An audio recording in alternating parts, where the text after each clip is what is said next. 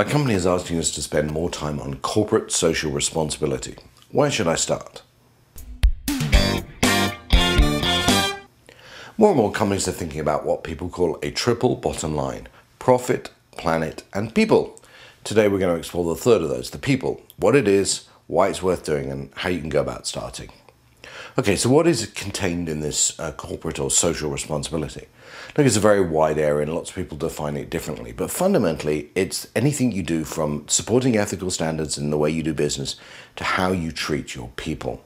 By people here, we're talking about everyone from customers to employees to the communities you live in and the communities and companies that rely on you. By the way, you should also consider nowadays the general public to be part of your corporate social responsibility, even if they have no relationship with you necessarily. Think about BP's problems in the Gulf, for instance, and ask yourself not only what were they liable for, but as a result of the pressure and corporate social responsibility, what are they morally now going to have to do? That is their corporate social responsibility. So why do it? Really, with three good reasons and one you may not have thought of. Three good reasons are legal. You may be forced by regulation to do some of this stuff shame, think of the BP example, you may be forced to do this because of damage to your reputation or avoiding damage to your reputation. Uh, three, contractual. Some governments or enterprise bids actually require you to have a corporate social responsibility if you're actually going to do business with them. However, the better answer is that it's, it's worth doing because it's the right thing to do. Now, there are some people who argue this is just a rouse to make more money. Uh, there may be an element of truth to that, of course, but making more money and doing the right thing are not mutually exclusive. So where do you start? I think you need to build a plan clearly, and a, a, plan for corporate social responsibility really has three stages accounting, auditing, and reporting. So, accounting.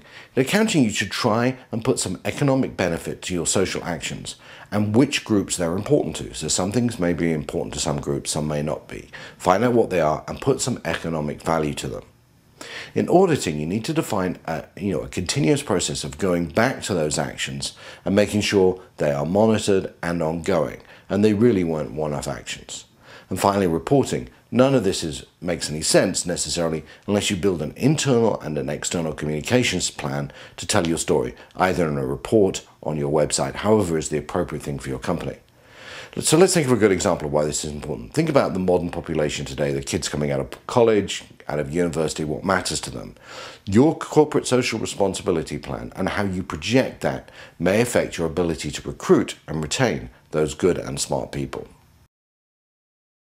This ain't is man's island, that's true of a company as well. Thinking through your triple bottom line is good for your business and it's good for your soul.